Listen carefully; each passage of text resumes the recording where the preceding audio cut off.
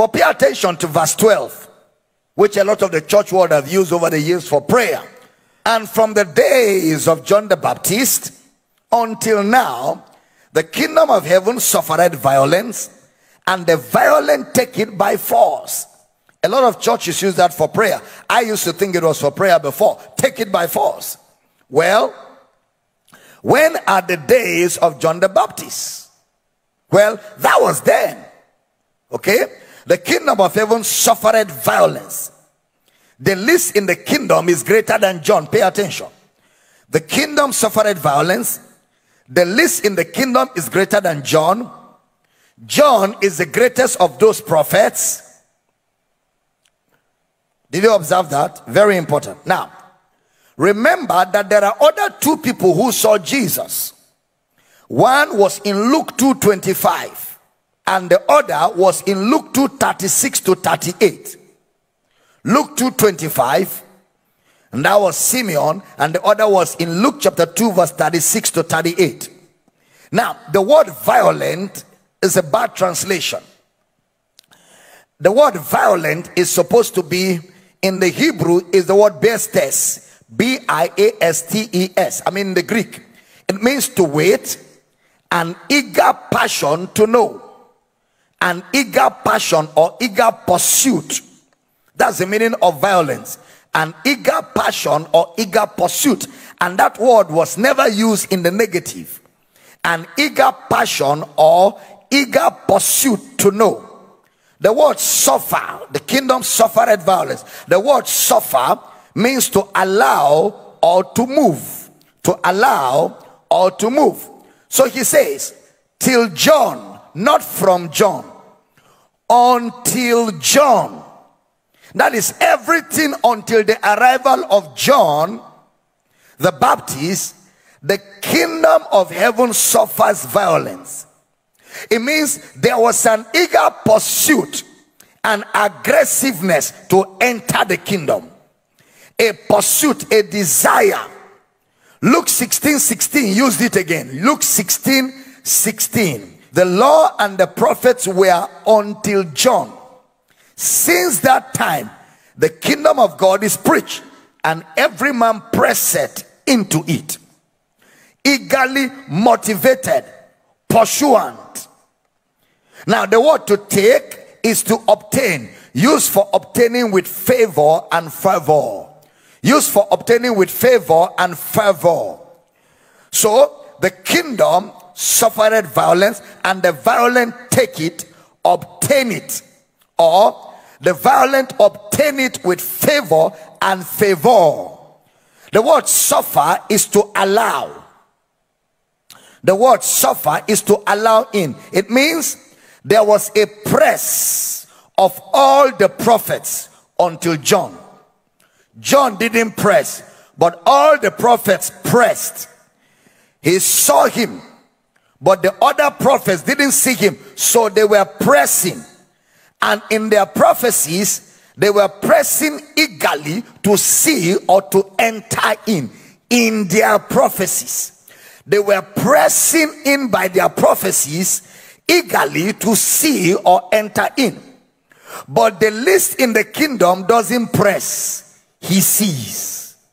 John the Baptist doesn't have to press to see, he saw.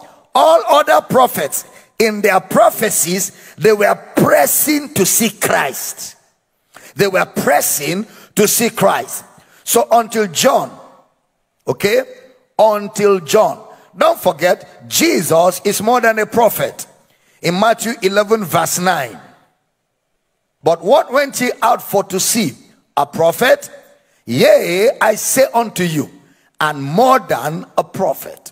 Jesus said it. He is more than a prophet. So fundamentally, the prophets were pressing for something. Fundamentally, the prophets were pressing for something. Those who were pressing among the prophets took hold of it prophetically. Those who were pressing in their prophecies took hold of the revelation in their prophecies. John the Baptist didn't take hold in his prophecy, he saw Jesus. The Old Testament prophets took hold of Jesus in their message. But John saw. So that pressing is where the violence, where the violence came in. So it's in their prophecy that they were pressing and they took a hold of it. Why? Because all the Old Testament prophets who desire to see, all of them, they desire to see Jesus, to see the things that they saw. People like David, David was a prophet. In the book of Acts, chapter 2, verse 30, David was one of them prophets. Therefore, being a prophet and knowing that God had sworn with an oath to him that of the fruit of his loins, according to the flesh, he will raise up Christ to sit on his throne. He seeing this before spake of the resurrection of Christ, that his soul was not left in hell, neither his flesh did see corruption. So David was a prophet. Now, what did he prophesy? Acts 3:21. Whom the heaven must receive until the times of restitution of all things, which God has spoken by the mouth of all his holy prophets since the world began. Question How did Peter know this? Because this was Peter talking. How did Peter know this? By their writings. Again, by their writings. So, in their writings, we will see their press. In their writings, we will see their desire. And in their writings, we will see how they spoke of things they were they never experienced. In the writings of all the Old Testament prophets, we will see their desire, we will see their press, we will see their craving, and now they spoke of things they never experienced. All right? So it is in their writings that they are violent. And it is in their writing that they took it by force. And it is in their writing that you see their eager pursuit. So that scripture, the kingdom of heaven suffered violence, and the violent take it by force, is referring to the prophecy of the Old Testament prophets contextually. It's not what we do today. We must take it by violence. We must take it by force. No, no, no, no. The Old Testament prophets, in their pursuit and in their eagerness, pressed and took hold of the revelation of Jesus in their prophecies. That means they knew that there was something. So in their prophecies, they pressed in and prophesied the Messiah in their prophecies. So look at how brother Paul signifies this. Colossians 1:26. Colossians 1:26. Don't forget, Jesus said about their pursuit. He said they desired to see, but didn't see. They desired in their pursuit. They didn't see with their physical eyes, but they had revelation. Pay attention. Isaiah, who was like a senior among the prophets, Isaiah, after pursuing to see, and they didn't see, concluded by saying, Eyes have not seen, nor ear heard, neither have they entered the hearts of men the things that God has prepared. Then Paul answered Isaiah and said, But God hath revealed them to us. Kaboyata. But God hath revealed them to us by the Spirit. See, Isaiah said, Well, after pressing, pressing, eyes have not seen, ears have not heard, neither has it entered the heart of man the things that God has prepared for those who love you. Paul now answered Isaiah and said, But God hath revealed them to us by his spirit. See? What they desired, what they craved for, what they pressed for has been revealed to us. Look at Colossians 1 25 to 26. Whereof I am made a minister according to the dispensation of God, which is given to me for you to fulfill the word of God. Even the mystery which had been hid from ages and from generations. It has been hid from them, but now is made manifest to his saints If the saints are in this building, shout glory! Shout glory! Ephesians chapter 3, verse 3 to 4. How that by revelation he made known unto me the mystery as I wrote afore in few words, whereby when you read, you may understand my knowledge in the mystery of Christ. In the Old Testament, it was a mystery, but now it is made known to the sons of men. It's now made known to the sons of men. First Peter 1 10 to 12. We'll read that a little later. First Peter 1 10 to 12. But let's look at Hebrews 1 1 to 2. God, who at sundry times and in diverse manners spake in time past unto the fathers by the prophets, Polytropos and Polytimonus. It means glimpses of the truth. Glimpses. Another translation calls it portion little portion, portions of the truth, glimpses of the truth. The Old Testament prophets said glimpses of the truth. That was the height of their pursuit. In their pursuit, the best that their cravings and desire could bring to them were glimpses of the truth. So every one of them prophets who pressed, who violently took hold of the kingdom in their prophecy, only had a glimpse only had a portion. It is when you collect all their portions put together that you arrive at the revelation of Christ. Psalm 78, verse 2. See what they say. I will open my mouth in a parable. I will utter dark sayings of the old. The word skia, it means dark speeches.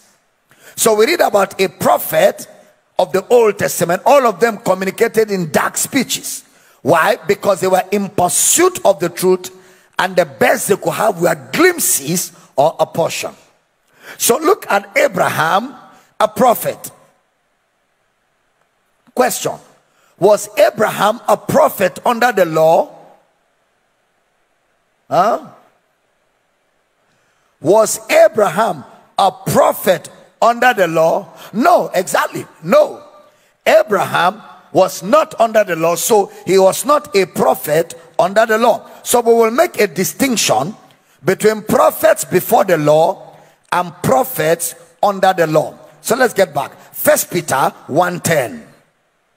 Of which salvation the prophets have inquired and searched diligently who prophesied of the grace that should come to you. They searched and inquired. The word inquired is the Greek word exeto, E X Z E T O. It means to ask after or to ask diligently. So they were asking questions in their prophecies. In their prophecies, the Old Testament prophets were asking questions. So their writings were inquiring for some things. Somebody like Isaiah will say, Who has believed our report? To whom is the arm of the Lord revealed? Inquire. They were inquiring. The other word is search. The word search is the Greek word E Z E R A U N A O. It means to investigate, to search. So they were investigating for Christ in their prophecies. It means you carry in your hand an Isaiah that was investigating for salvation. You carry in your hand an Isaiah that was investigating for salvation. Isaiah will say in one breath, Your ears are heavy, your sins have separated you from God. Then in another breath, Isaiah will say, The Spirit of the Lord is upon me, for he has anointed me to preach in chapter 61 of Isaiah. So it sounds like a contradiction, but it wasn't a contradiction, it was an investigation. It was a search for Christ. They were in a pursuit, they were full of desire. So in their prophecy, they were seeking and searching and inquiring for Christ to see him. So Jesus said they desired but never saw. The best they could get were glimpses glimpses. Verse 11 of that first Peter chapter 1. Searching what or what manner of time the Spirit of Christ which was in them did signify when it testified beforehand the sufferings of Christ and the glory that should follow. Searching was a major theme in their writings. A major theme. The Spirit of Christ was not in them. Actually, they had the Spirit which testified of Christ. That's the way it should be interpreted. They had the Spirit which testified of Christ. Then, verse 12 Unto whom it was revealed that not unto themselves, but unto us they did minister the things which are now reported unto you by them that have preached the gospel unto you, which the Holy Ghost sent down from heaven, which things the angels desire to look into. So the revelation is not in their writings. They wrote their inquiries, but now we have the revelation of what they wrote in the epistles. So, in the epistles, you understand what they were saying. I mean, imagine what they were searching for the sufferings of Christ and the glory that will follow. Of his salvation, the prophets have inquired and searched diligently who prophesied of the grace that should come unto you. 11.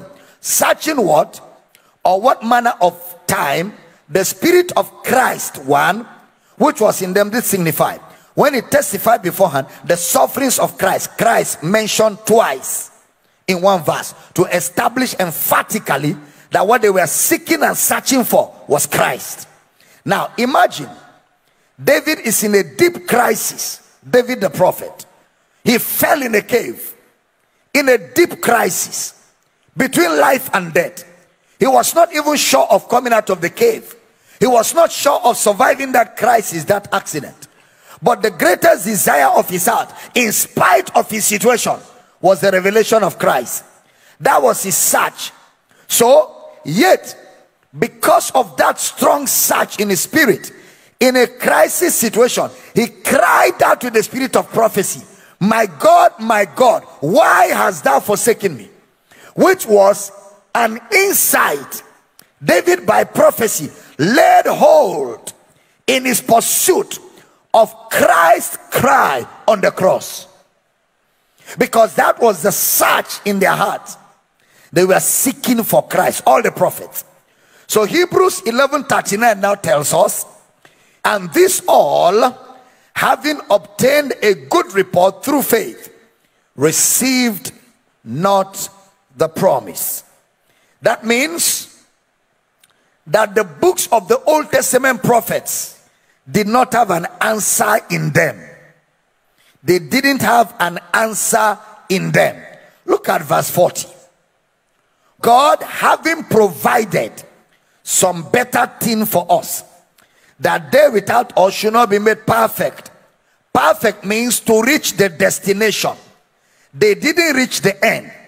So their prophecies were search engines like Google. Their prophecies were search engines.